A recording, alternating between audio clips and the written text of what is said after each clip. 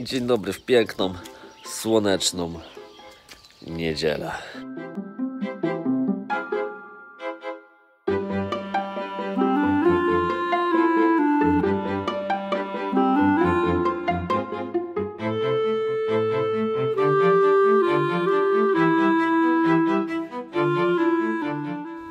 No i wreszcie można ponarzekać na wysoką temperaturę. A może nawet na burzę niedługo ponarzekamy. Strasznie mi się nie chce, ale, ale zrobię to, bo jest tak zajebista pogoda po prostu.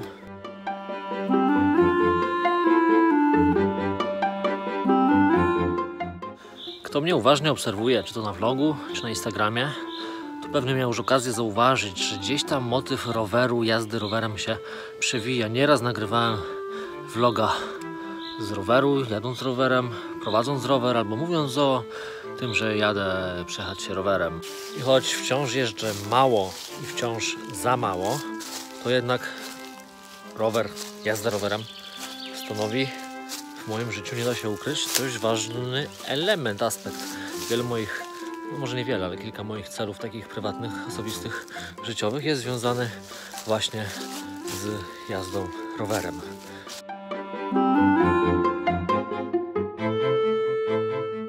Mam wrażenie, że rower był zawsze gdzieś tam blisko. Nie, w sumie może jak, jak każdego małego, młodego dzieciaka. No mam wrażenie, że ciągle gdzieś tam tym rowerem jeździłem. Potem miałem pewien wypadek na rowerze, przez co nie wiedzieć do końca czemu. 5 lat, równe 5 lat nie jeździłem rowerem, po czym siadłem raz i potem znowu było długo, długo nic. Teraz dokładnie w czerwcu miną 4 lata, jak kupiłem sobie ten właśnie oto rower. Kupiłem go z myślą właśnie, że będę sobie jeździł, jeździł, naprawdę jeździł tu i tam. To, co jest pozytywne akurat w tym, to to, że nie skupiam się na sprzęcie, tak? Bo w wielu innych aspektach jest tak, że chciałbym zacząć coś robić, ale trzeba coś do tego kupić. Potem to, co kupiłem, okazuje się za mało, trzeba kupić coś lepszego, do tego jeszcze jakieś 10 innych dodatków i tak naprawdę nie chodzi o robienie czegoś, jakiegoś tam hobby czy czegokolwiek, a o kupowanie sprzętu i to mi się wydaje złym kierunkiem, a tutaj akurat przy jeździe rowerem sam rower totalnie mnie nie kręci, nie kręcą mnie rowery. Przychodzę ulicą, nie kręci mnie rower, nie interesuje mnie.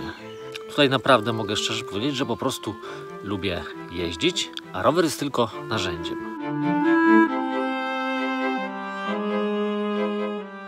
Tak też prawie 4 lata temu kupiłem sobie właśnie ten oto czerwony, czerwony pocisk za, uwaga, 200 zł.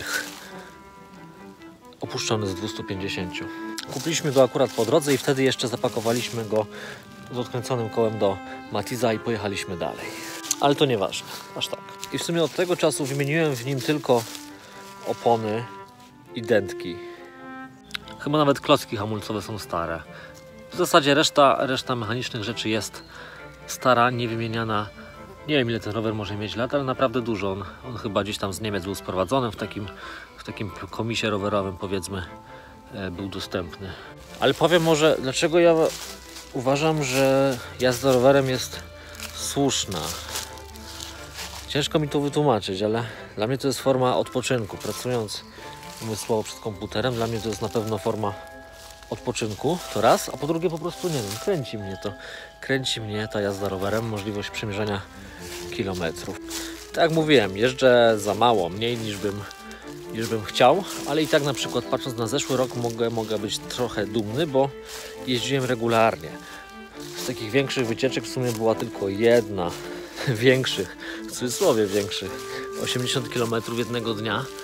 Pozostałe to były maksymalnie tam 2,5 godziny e, drogi, ale było to dość regularnie, dość często i to mnie też cieszy, już samo pedałowanie, już nieważne dokąd.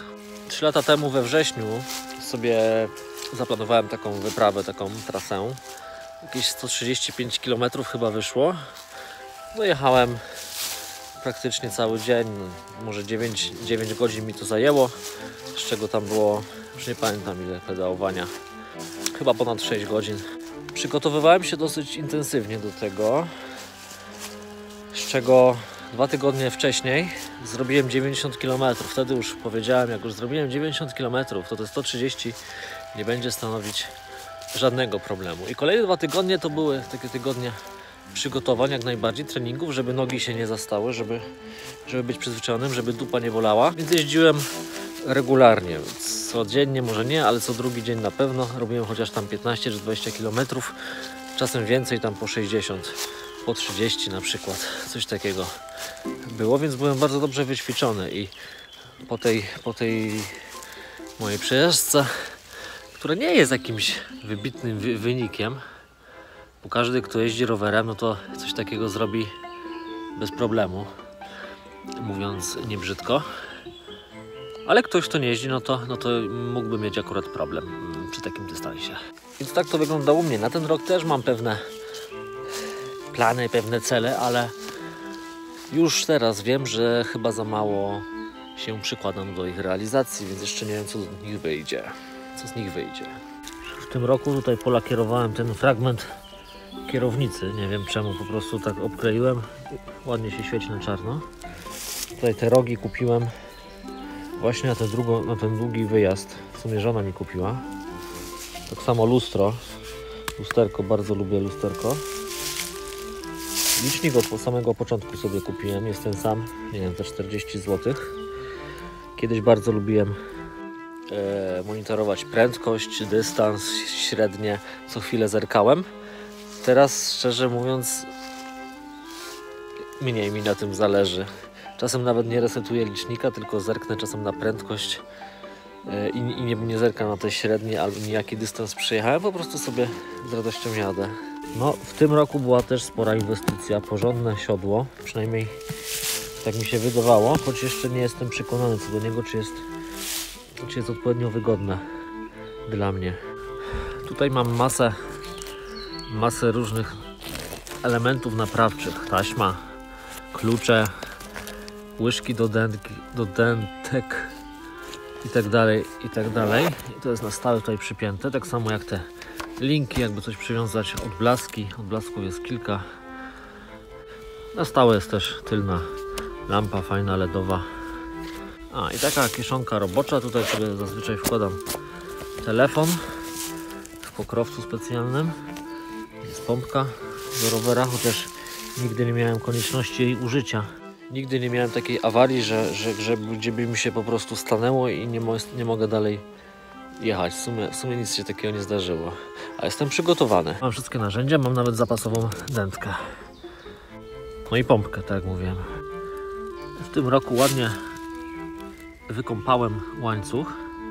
Dosłownie wykąpałem, bo był jak nowy. Naoleiłem. I jeździmy i to wszystko. I rower nie potrzebuje nic więcej ode mnie. Po prostu sobie jeżdżę. Może tego nie widać, ale jest dzisiaj ciepło, słonecznie, duszno.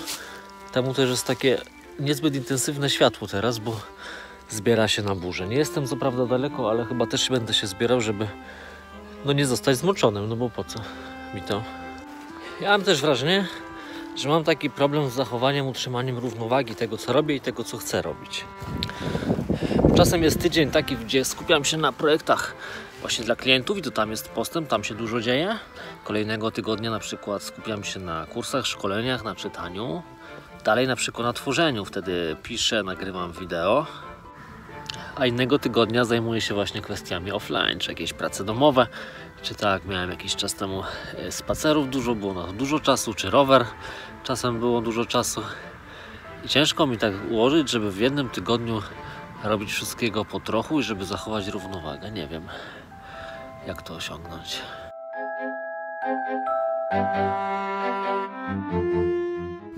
Odnośnie rowerowania mam jeszcze coś takiego, że nie bardzo lubię się zatrzymywać. Czyli, że jadę dokądś, staję, przypinam rower i gdzieś idę. Bardziej właśnie wolę jechać cały czas jechać. Nie wiem z czego to wynika. I też nawet jak jadę gdzieś dalej, to biorę zapas jedzenia i picia taki, żeby mi starczył całą wyprawę, żebym nie musiał się zatrzymywać, tak? No też mam tutaj dodatkowy bidon. A jak było trzeba więcej napoi, to ja przywiązywałem taśmą tutaj, pod ramę na przykład. Tutaj chyba nie. Był przywiązany. No i miałem jeszcze torbę, tam było napchane jedzenia i picia. Kusi mnie jeszcze przejść do mojej rowerowej szafeczki, gdzie mam troszkę wyposażenia i akcesoriów na różne wyprawy, ale może zachowamy sobie to na kolejny odcinek. Dziś tak bardziej ideologicznie bym powiedział. Zapomniałbym o najważniejszym. Znaczy, może to nie jest najważniejsze, ale o czymś ważnym. E, Zawsze, praktycznie zawsze, jak jadę gdzieś troszkę dalej, zakładam słuchawki i słucham sobie podcastów. I to jest dla mnie niesamowita wartość. Jak sobie na przykład wspominam ubiegły rok i niektóre podcasty, to jestem nawet w stanie powiedzieć, w którym miejscu, gdzie ja wtedy przejeżdżałem, e, słuchając danego podcastu. Taka ciekawostka. To jest fajnie wykorzystane dla mnie podwójnie. Czas też, a i też właśnie chwila na naukę, na posłuchanie kogoś innego, na dowiedzenie się czegoś ciekawego. Bo normalnie w pracy no nie da się tego słuchać, więc takiego czasu by nie było, trzeba było go jakoś inaczej wygospodarować. A tu jest fajna opcja. Z kolei na przykład ciężko mi na jakieś przemyślenia i refleksje. Owszem, pomysły jakieś padają, ale takie głębsze przemyślenia i refleksje nie przychodzą mi na rowerze. Mam wrażenie, że jednak uwaga w dużej mierze jest poświęcona pedałowaniu i jechaniu. I na przykład przy spacerach pieszych, nie wiem czy są inne, ale przy spacerach e, e, lepiej, lepiej mi się myśli na przykład. To tak nawiasem. No dobra, kończymy, kończymy rower, lecimy. Dzisiaj wypadałoby jeszcze zrobić podsumowanie tygodnia. No i jeszcze planowałem, dwa dni temu przynajmniej, że sobie nadrobię właśnie szkolenia i kursy. Ale dzisiaj totalnie mi się nie chce. Mam nadzieję, że uda mi się tego vloga jakoś zmontować i opublikować. Nie przedłużajmy dalej. Widzimy się jutro.